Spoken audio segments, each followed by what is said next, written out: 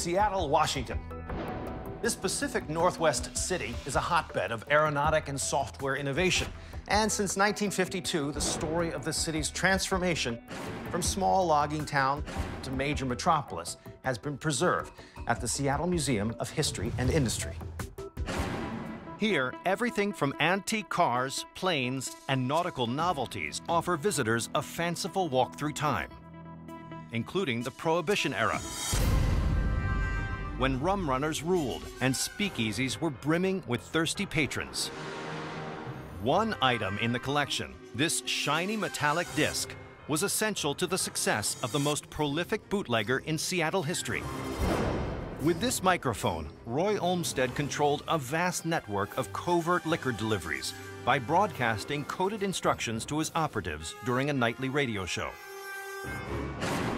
The Seattle area has also had its share of natural disasters, and some of the surviving relics from those events are on display here. In February 1910, these lighting brackets were hanging on the wall of a Great Northern Railroad train stuck on a snowy mountain track for nearly a week. When a storm triggered a massive avalanche, over 100 people were killed on board the stranded train.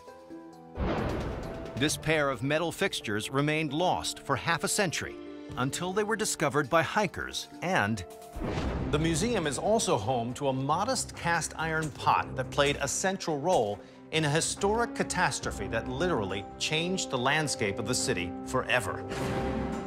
120 years ago, a cabinet shop worker was heating glue in this pot when he knocked it over. The ensuing blaze spread so quickly that it destroyed nearly 30 city blocks. It would go down as the worst fire in Seattle history.